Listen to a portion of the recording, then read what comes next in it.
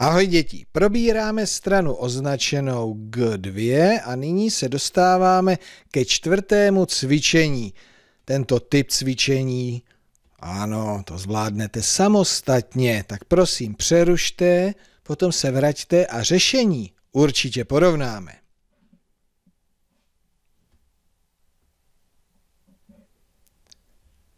Hotovo, jdeme na porovnání, ale abychom mohli porovnávat svá řešení, tak si nejdříve já musím přečíst zadání.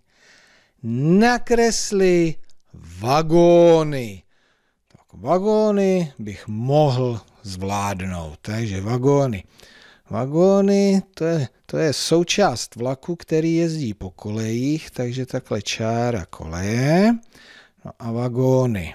Tak, tady nikde není napsáno, jestli to musí být vagóny osobní nebo nákladní. Takže já si tentokrát vyberu nákladní, takže tady nějaký písek. Tak. Ale takhle by to byl jenom jeden vagón. A vagóny, tak to znamená alespoň dva. A mně se tady takhle dva vagóny vejdou. O mašině tady nic není. Mám kreslit jenom vagóny, takže ještě tady kousíček jednoho vagónu.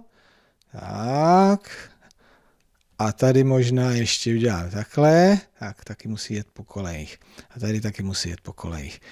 Tak, takhle tady někde z obrázku výjíždí vagóny. Takže tohle jsou moje vagóny. Ne jeden vagón, ale více.